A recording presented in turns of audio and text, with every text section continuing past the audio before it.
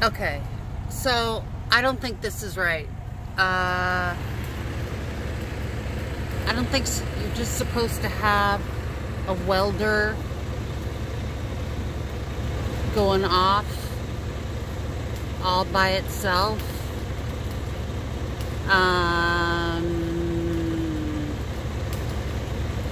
anyway, I'm broke down and the guy left and I got that going on and that makes me nervous. Um,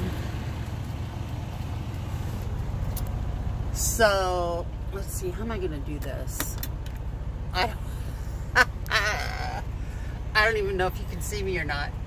Anyway, I had a piece of metal that's the housing or something for the airlines under the chassis um, rusted off and blew out and just shredded all the airlines under the trailer. And that all happened on Interstate 10 on the bridge over the Mississippi River.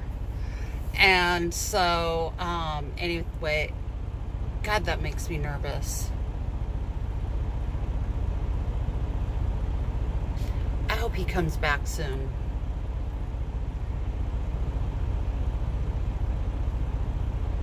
I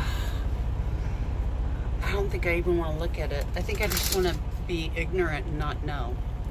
Um, so anyway, I was able to creep it over, but I lost everything. So all, so your airlines also, not only is it your brakes, but it's also your transmission.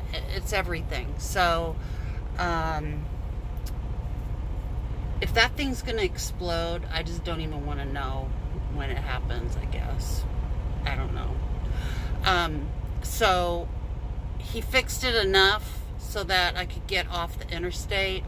And then um, now I'm at the shop in Zachary and hoping that I don't die in a horrible grisly explosion now instead of being um, smashed into on the interstate. God. Anyway, um, so, you know, I'm off the interstates. That's good. Oh my God. I don't know if you can see this in my mirror. Hang on. Can you see that?